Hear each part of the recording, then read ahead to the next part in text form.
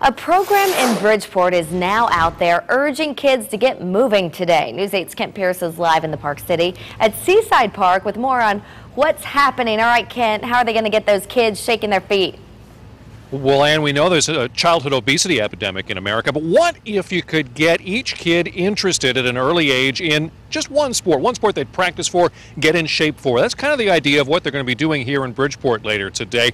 Uh, they're going to take all the kids who are enrolled in the Lighthouse program, that's an after school and summer activity program, bring them down to Seaside Park and have them rotate through 10 different activities. Lots of different sports baseball, basketball, football, soccer, golf, lacrosse, martial arts, a whole bunch bunch of things with the hope that at least each kid is going to pick one of those things and stick with it even after today and stay healthy as a result. We're live in Seaside Park in Bridgeport. I'm Kent Pierce, News 8.